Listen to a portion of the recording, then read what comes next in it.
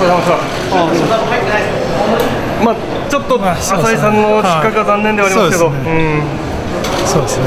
はい。一つただレースとしてはまあ山崎さんと3人で一番いい形で,、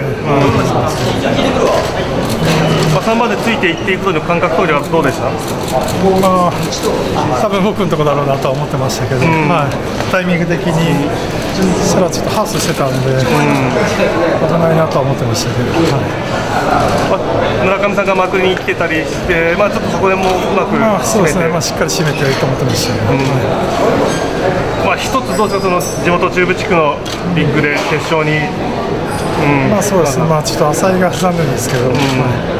まあ久しぶりの決勝なんで、嬉しいですね。まあちょっとこういう大きい大会、やっぱり、まあ、特に中部地区だとなかなか、決勝に向けては、ちょっと柴崎さんとは話されました？そうですね。まあもうどっちにしても淳に任せるもうはい。柴崎さんが、まあ、例えば誰かについてもというような、そうですね。